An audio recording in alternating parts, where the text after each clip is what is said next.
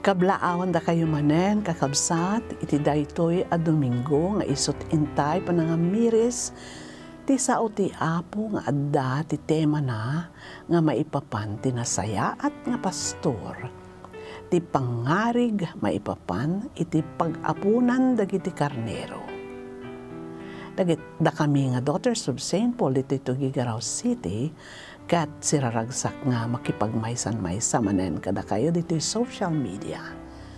Ti Ebanghelyo ita kat naglaon kan San Juan, Kapitulo 10, versikulo 1 aginggat 10. Ti maibasa.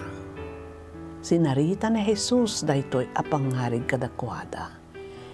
Ibagak ti pudno kada kayo, ti tao asaan asumrek iti ruangan ti pag-apunan dagiti karnero ngam kumalay at di iti sabali a pagnaan maysa a mannanakaw ken tulisan. Ti sumrek ti ruangan iso ti pastor dagiti karnero. Isu ti luktan ti agay aywan ti ruangan. Danggan dagiti karnero ti timek na no awagan na dagiti nagnaganda kat irwar na ida.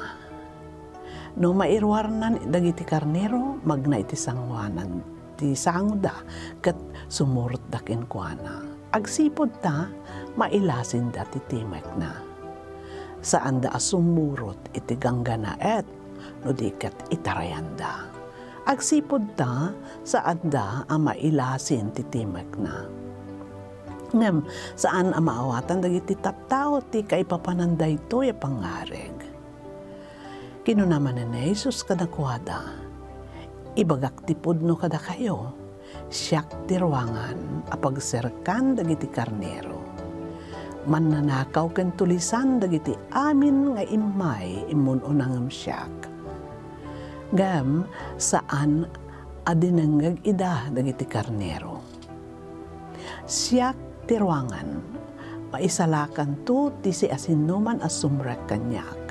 Sumrek kan rumwarto kat makasarak to ti pag-aaraban.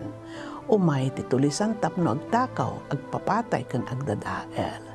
Imayak tapno maadaan kay ti biyag. Biyag nga awan pagkurangan na. Ti sa o ti apo, agyaman kam ken ka o apo mi nga Heso Kristo. Kakabsat, adya nga tati tali nga manging silsil po tinatibkar kan naunag nga relasyon ti pastor kan kadagiti karnero na.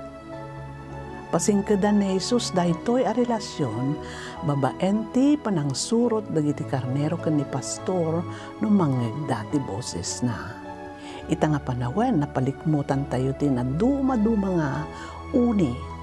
Uni nga nariri, na puner, na salunat, na talna, na kapya, naghanam. Kan adupay dagiti boses nga mga ala ti atensyon tayo.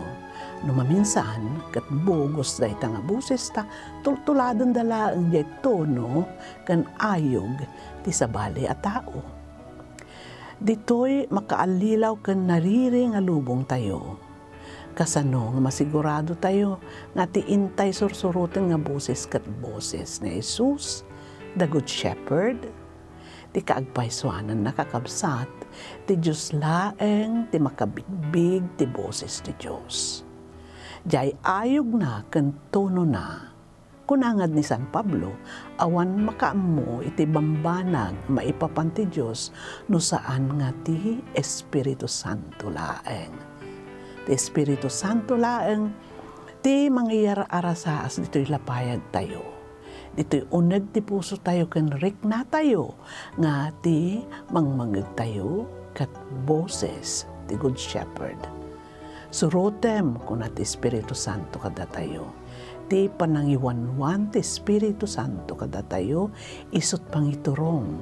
Ti panagmaysan-maysa tayo ken Jesus the good shepherd kan kadagiti kakabsat tayo.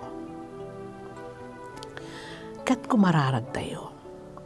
Una santuan nga pastor mi tinariri nga aglikmot mi saan nga isot mang tedriribok ti panagbiag mi no baybay anda kayo nga mangiwanwan kada kami. Espiritu Santo bendisyon am kaditi puso mi kan panunot mi tapno kanayon kam nga dumngeg kadagiti inspirasyon mo nga mangbigbig iti nakapya ken natal na nga boses ti Apo dawaten mi daytoy babaen ken Hesu Kristo nga apo mi. Amen. Kat kasta nga rodin kakabsat, dumungag kay tumanen ti boses ti Good Shepherd nga naglaon ti Ebanghelyo inton sumaganad nga Domingo. Daytoy ni Sister Carmela Braganza, kan kadwak dagiti kamadriak nga Daughters of St. Paul, nagpaspasalamat ti gagatyo nga dumdumngag ti sao ti Apo kas sangarudan.